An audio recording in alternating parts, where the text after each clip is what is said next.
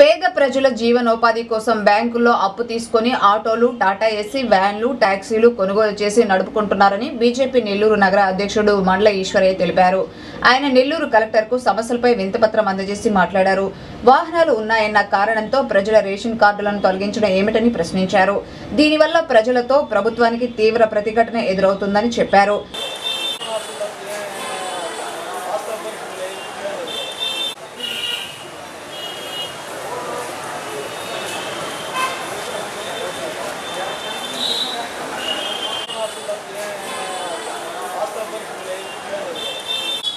జేసీ గారికి మూడు ప్రధాన సమస్యల మీద భారతీయ జనతా పార్టీ నగరం శాఖ తరఫున మేము కలవడం జరిగింది.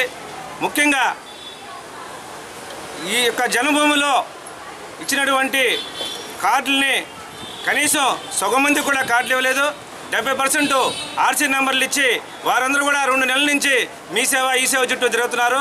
వాళ్ళకి వాళ్ళు చెప్పే సమాధానం ఏంటంటే జేసీ లేఖంలో ఉన్నాయండి. ఇప్పుడు వీలు పడుతుందని చెప్తున్నారు. అవి పేద ప్రజలందరూ కూడా సంక్షేమ పథకాలు కావాలంటే రేషన్ కార్డులు కావాలి. అందువల్ల మేము ఖచ్చితంగా డిమాండ్ చేస్తున్నాం. వెంటనే ఆర్సీ నెంబర్లు అందరూ కూడా రేషన్ కార్డులు ఇవ్వమని మేము తెలియజేస్తున్నాం. అలాగే రెండోది డబ్ల్యూఐపి ఆర్ఏపి టీఐపి కార్డులు అందరూ కూడా ప్రతి నెల కుటుంబంలో నలుగురుంటే ఇద్దరికి రేషన్ కార్డులు సరుకులు ఇవ్వడం లేదు. వాళ్ళు తిరిగి తిరిగి వాటిని పెట్టుకుంటే మరలా రెండే నెలల్లో మూడో నెలల్లో మళ్ళీ ఆ కుటుంబ సభ్యులకి పోవడం జరుగుతుంది.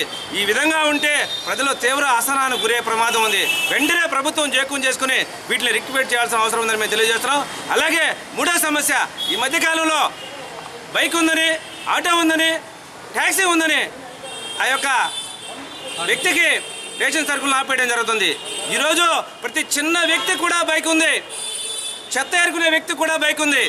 ఆటో తోలుకొని చెవులను గడుపుకునే వ్యక్తులకి రేషన్ కార్డు తొలగిస్తే ఏ విధంగా గడపాలి వాళ్ళు ప్రభుత్వం? ఏ విధంగా అనుకుంటుంది? పేద ప్రజలందరూ కూడా ఈ యొక్క రేషన్ కార్డులు ఉంటేనే సంక్షేమ పథకాలు అందుతాయి. అందువల్ల గవర్నమెంట్ వెంటనే ఈ యొక్క చర్యలు నిలిపివేసి ప్రతి ఒక్కరికి కూడా అర్హులైన వారికి రేషన్ కార్డు ఇచ్చి పెద్ద పెద్ద పెద్ద కార్లు ఉన్న వాళ్ళకి తొలగించండి. సంతోషం. కానీ పేదవారికి మాత్రం తొలగించకుండా ఉండాలని మేము కోరుకుంటున్నాం. ఈ విషయాన్ని మేము జాయింట్ కలెక్టర్ తెలియజేశాం.